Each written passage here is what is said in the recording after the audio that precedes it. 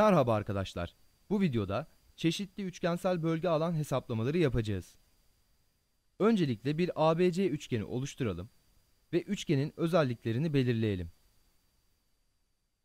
Sonrasında çeşitli alan hesaplama yöntemleriyle aynı sonuca ulaşmaya çalışalım.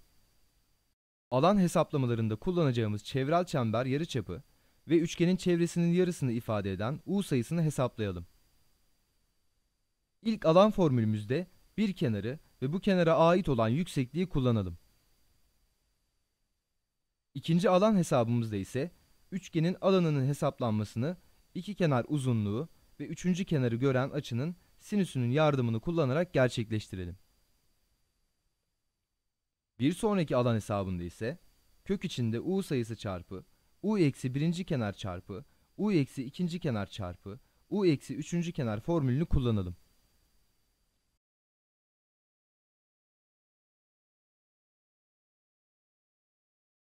Bu çözümde birbirinin eşleniği olan köklü sayıların çarpımlarının kullanımına dikkat edelim.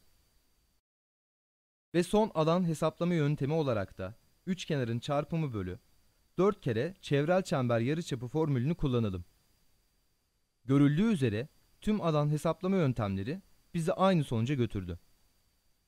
Görüşmek üzere, kendinize iyi bakın arkadaşlar.